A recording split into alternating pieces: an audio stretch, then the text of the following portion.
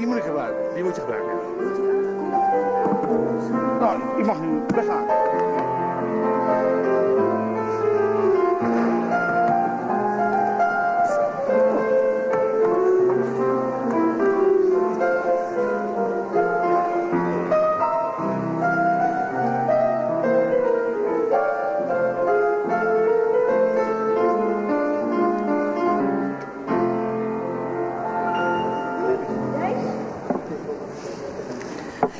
In de jaren 60 was hij bekend als Johnny de Selfkicker. Hij wilde de razernij van de wereld laten horen.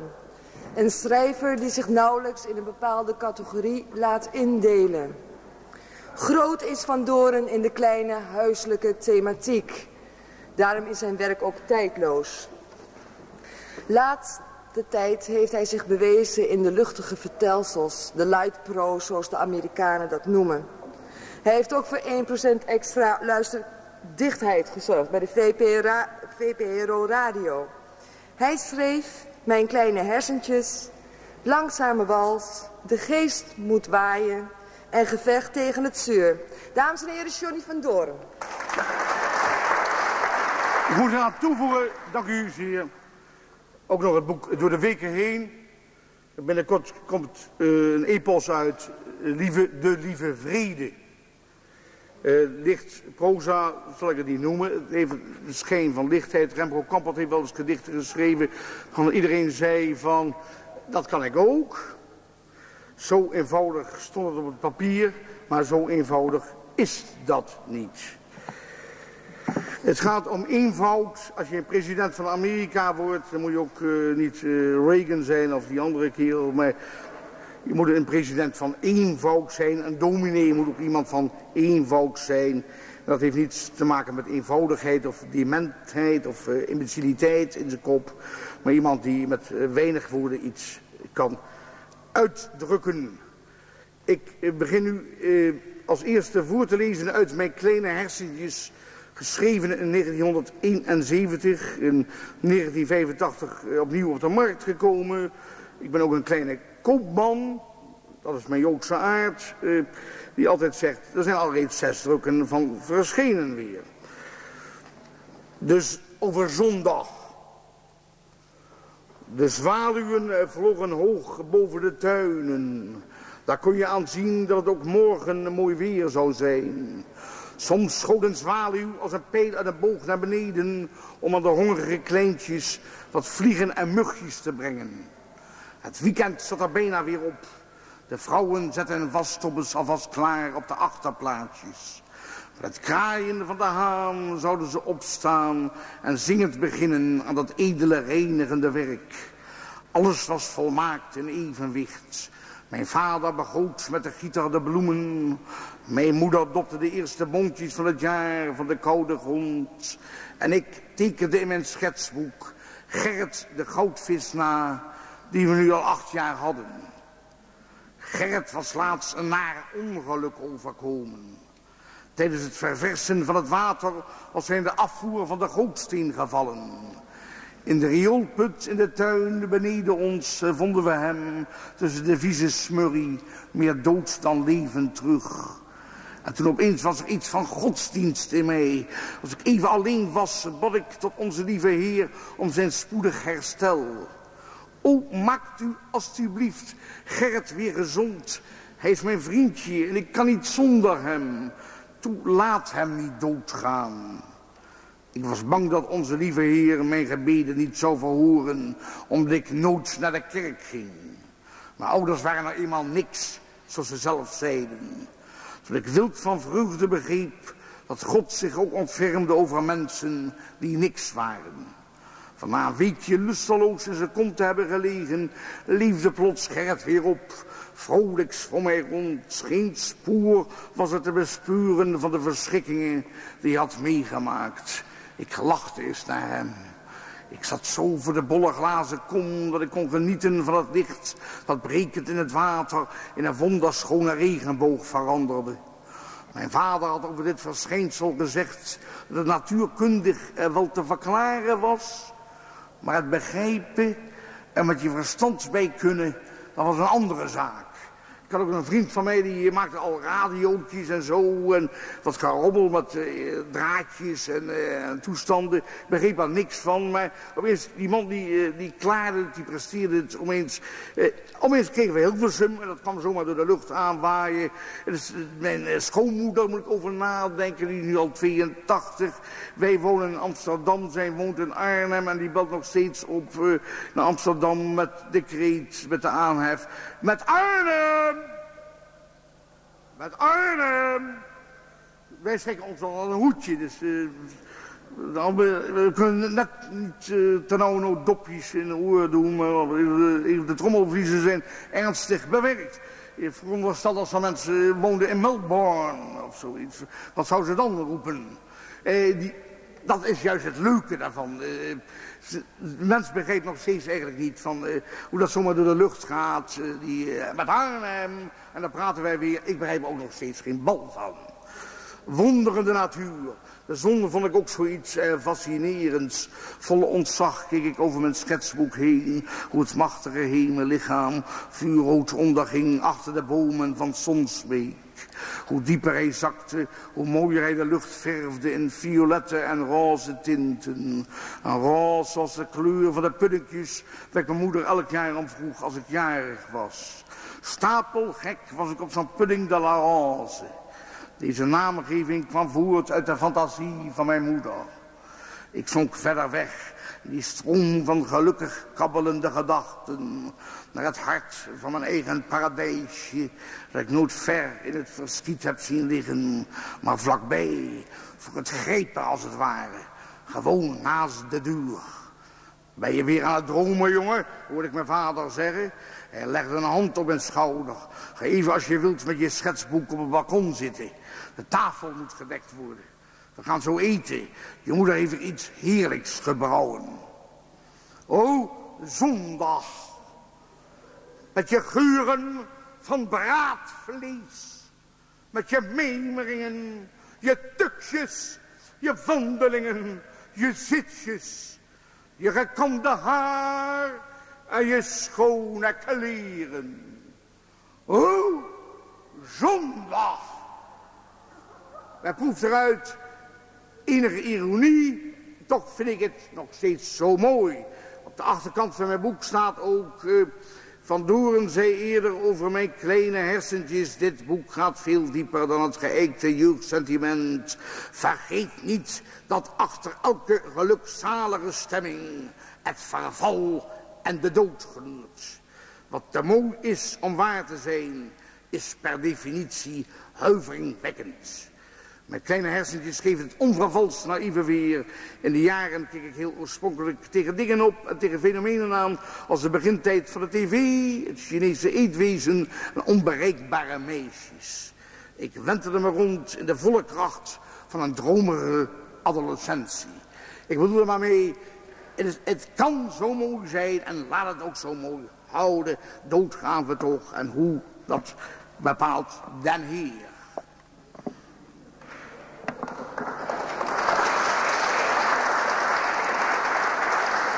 Nog een mooi uh, gedicht wat met de zondag te maken heeft. Kort, een proza gedicht dan. Achtertuinen. Op een zwoele zomeravond, even na zonsondergang, gaf mijn vader een briljant recital met onder andere een wals van Chopin en melodia van Rubinstein. De piano stond in de achterkamer, de balkondeuren waren open. Vanaf het balkon keek je op een werkelijk aantrekkelijk carré van achtertuintjes die door huizen ontsloten waren. In deze lusthof genoten de mensen in de tuinen van de buitenlucht en het prachtige weer. In het spel van mijn vader kregen ze er een speciale genieting bij die zeer op prijs werd gesteld. Het was windstil, de klanken klonken wonderlijk ver door. De donkere warme bassen bromden langs de bakken met geraniums, de rozen en de herretjes. De vrolijke lichtere tonen klingenden als klatergoud door de avondlucht en dwarrelden door het lover van de zilverberken en de seringenbomen aan de kant van de Apeldoornse weg. Een verre kanariepiet ergens op een balkonnetje, die eigenlijk al had moeten slapen, reageerde op de vibraties door uit haar snaveltje de prachtigste rollers en fiedeltjes te halen. Tante Zwaan in de siertuin met de goudvissenvijver linksonder sloot haar ogen en neuriede mee. Zulke sferen moeten Shakespeare bewogen hebben tot zijn midzomernachtsdroom. Toen de laatste noot verstierf, was er voor een moment een stilte. De natuur hield zijn adem in. Maar dan, als door de bliksem getroffen, richtten de mensen in de tuintje zich op en brachten mijn vader een staande ovatie. Een enkeling riep zelfs bis, bis. Met een welverdiend glas bier in zijn hand boog mijn vader op het balkon verlegen. Ik dacht dat er een ober had besteld voor een glaasje bier. Eh, ober! De keel wordt een beetje dorstig. Dat krijggegalm, dat maakt de inderdaad. Ik kan me voorstellen, die dominees van vroeger. Pardon. Dank u. Dan iets kort uit door de weken heen. Een heel kort dingetje. Het dagboeken, uh, door de week heen, Johnny van doen dagboeken. Een beetje rare dagboeken. Het gaat over de, het verhaaltje, het dagboekfragment heet verjaardag. En het begint met 1 februari en dan na het bad. Het gaat over mijn vrouw is dan jarig op 1 februari. De dag van de watersnoodramp. Dat herdenk ik altijd. Toen ik, ik, was toen een jaar of acht en dat heeft me een vreselijke schok bezorgd. Die watersnoodramp. Ook uh, familieleden in de verte die toen verdronken zijn. Daar heb ik het nou niet over. 1 februari. Het was mijn vrouw weer gelukt. Ze toonde zich ontevreden dat ze een zekere leeftijd had bereikt. Trek je niets aan van de tijd, zei ik. Beschouw hem als een vervelend opdondertje. Voor de tijd als een lange pier over miljoenen jaren uitgestrekt kan ik nog ontzag opbrengen, maar niet voor die warbel vadertje tijd. Zolang je ademt en nog een pietje wilskracht hebt, moet je vadertje geregeld op zijn billen petsen. Spuw op dat creatuur. Na het bad. Ze maakte zich op. Het verval hoort daarbij, riep ik. En is ouder worden eigenlijk niet het mooiste wat er bestaat? Neem nou mijn tronie.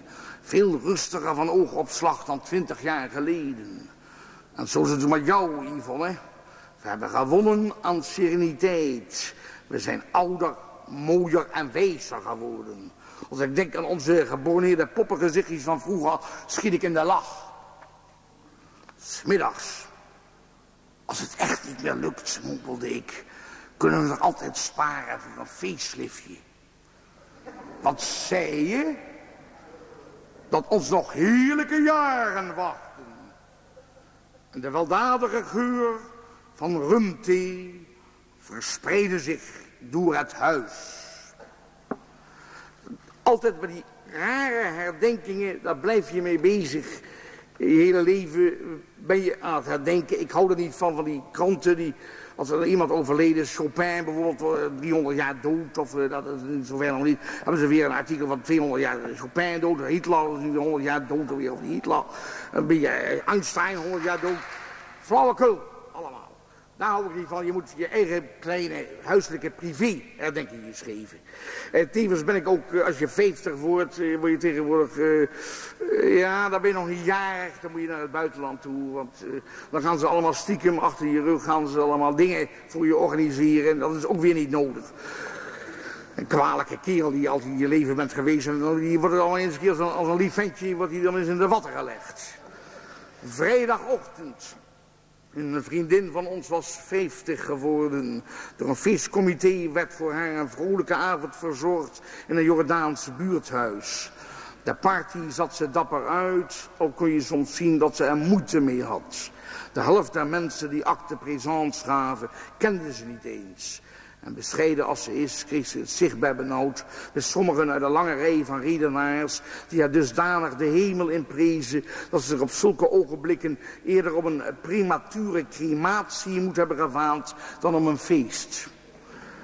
Heel erg was een zanggroepje, de prettig gestoerde vrouwen, dat urenlang op koddige wijze schoolliedjes kweelde. In het groene dal en op de grote stille heide. Wat men stervelingen al niet kan aandoen die toevallig een rond aantal jaren hebben bereikt. Ik kan er niet tegen. Hoe meer ik erover nadenk, hoe kwaaier ik word. Never, zei ik tegen. Ik waarschuw je, als ik ook nog de 50 dreig te halen, moet je je niet inlaten met ludieke feestcommissies. Zorg dat we dan op vakantie zijn in een ver land, anders ben je nog niet jarig. Vrijdagmiddag. Dat is een trend tegenwoordig, die comité's. Afgelopen jaar waren al drie bekenden van ons op een vijftigste door een geheime feestbende ontvoerd en naar een knusse lokaliteit gereden waar ze werden onthaald op tomtomklanken en feestwinkelsketches. Maar toch, zei Yvonne, vinden veel mensen het prachtig om een kroonjaar in de watjes te worden gelegd. Ik denk aan artiesten die nooit helemaal aan de bak zijn gekomen. Die vooral snakken aan haar eens een dagje uitvoerig gevetteerd te worden. Simon Vink hoorde in ieder geval niet tot die categorie. Wordt hij niet volgend jaar 60? vroeg ik. Dat klopte. Zeg, heb je al iets gehoord van een comité dat hem in het zonnetje wil zetten? Oh nee, dan moet er pot voor drie wat gebeuren. Notabene, Vink, de beroemdste van alle dichterlijke Amsterdammers. Hij verhaalt niet een feest dat zich over een heel jaar uitstrekt. Ik meen me al over een tekst in een Liber Amicorum, een vriendenboek. Beschermengelen als Arto, Rimbaud, Dinsburg, Krishnamurti, Appel, Klaus, Mokense scharrelaars, Knors, mooie chicks, het vertallige zootje ongeregeld, dochters en zonen, zullen je lieve vriend op je tocht door het kroonjaar nog eens extra opmonteren en tot ontroering brengen. Zaterdagochtend, jongen, brabbelde ik, het lijkt wel of hij gisteren vijftig werd en nu wordt hij al zestig. Sinds dat feest toen hij Abraham zag, moet de tijd als een gek aan het razen zijn geweest. Ik schrok ervan. Een week verstreek. Eh, voor het station kwam ik de maestro tegen. Maar wat scheelde hem? Hij bood een kreupele aanblik, Simon.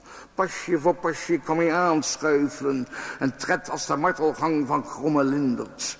Man, wat is jou overkomen? vroeg ik bezorgd. Oh, groeide hij. Johan, ik ben gisteren in de Melkweg te enthousiast van het podium gevallen. Niets gebroken? Leek me beter dat je het bed houdt. Ben ik de man niet daar, zei hij. Trouwens, ik moet centjes verdienen. Die ellendige geldnood. Ik heb van een taxi naar het station genomen. Zag je me niet? Ik kom er maar moeite uit. Taaiheid kon je hem niet ontzeggen. De trein ging hij nou weer naar een optreden in Roosendaal. Hij vertelde me nog dat hij deze ochtend een jubileumboek uit Amerika had ontvangen... met prachtige foto's van de skydiving club The Flying Dutchman. Waar Fink erelid van was. Zijn vriend en instructeur in het parachutespringen, Steve Groff, had in de jaren zestig tot die sport bekeerd en hem zelfs vrije vallen laten maken. En hoe veelzeggend luidde het opdrachtje van zijn vriend in het jubileumboek. The Simon, take care, no hard landings. Dat komt er wel ongelukkig uit, zei hij. Best mogelijk dat ik niet van het podium was gevallen als ik Steve's waarschuwing eerder had gekregen. Maar stond zo'n lief meisje met een bosje bloemen voor me klaar. En dan weet je het wel. Boem. De zwaartekracht. Die nacht.